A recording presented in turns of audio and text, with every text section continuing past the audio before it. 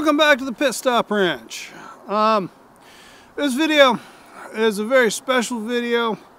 Happy to bring it to you. Uh, so this is the inaugural and final race at the Greenbelt Speedway. This uh, one-time event is uh, at a top secret location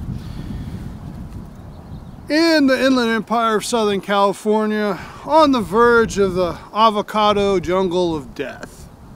Nestled in amongst the orange groves, a family purchased a property. It was their dream that some portion of their farmer's field be converted into a dirt track and uh, vintage early dirt track type racing would occur there. A stalwart pillar of the early Ford and uh, uh, vintage racing community, uh, Hudson Joe, went ahead and organized this event. And um, we were very much lucky enough that um, he agreed to let us uh, go and film and enjoy uh, ourselves with the rest of the community. And uh, really want to express a great um, appreciation for that. Uh, his Instagram should be right here. Regardless, we had an amazing time. Uh, lots of cool cars, lots of people, cool people, um, having a great time. Um, and uh, sheriff came by, drove by, came back, parked, sitting there watching. And kind of a direct throwback to the 40s and 50s where events like this actually occurred on local farms and in, in um, pastures uh, all over the country. Enjoy the video.